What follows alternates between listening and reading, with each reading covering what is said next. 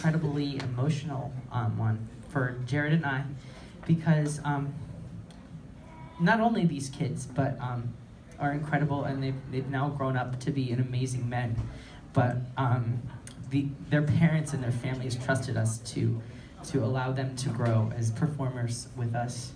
Um, so having them perform here tonight is a gift.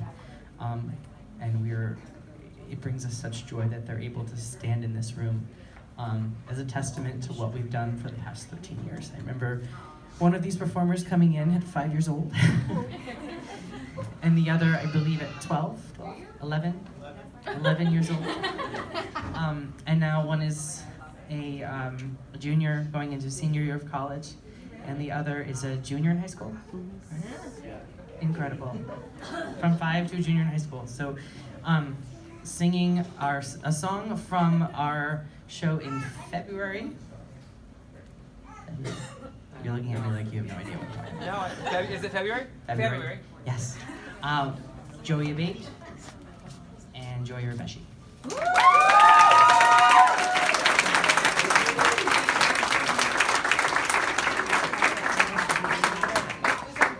You guys are taping this? Yeah. Are you taping?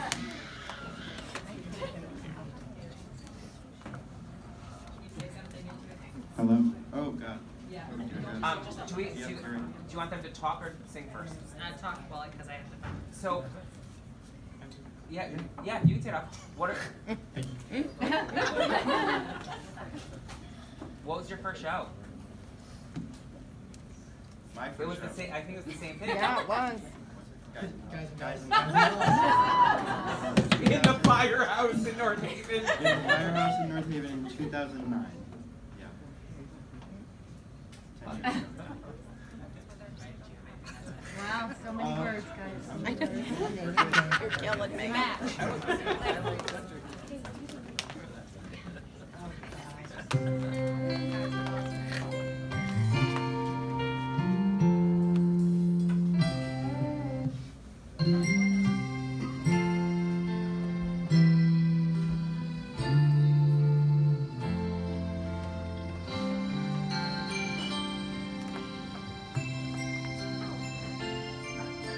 Obrigado.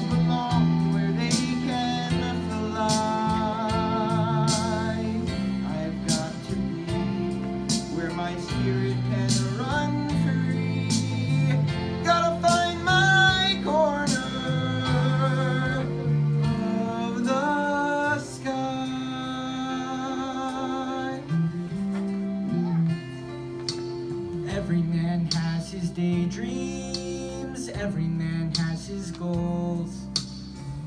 People like the way dreams have of sticking to the soul.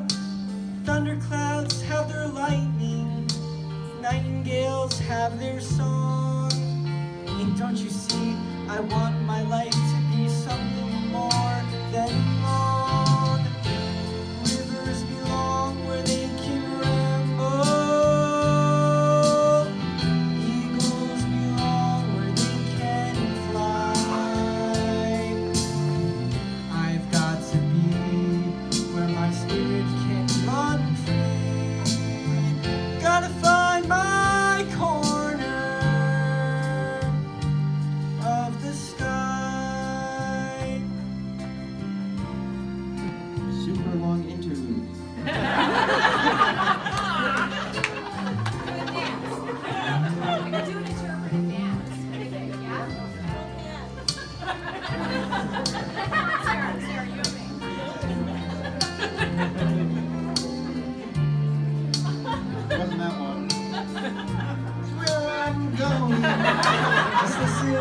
when I'm gone.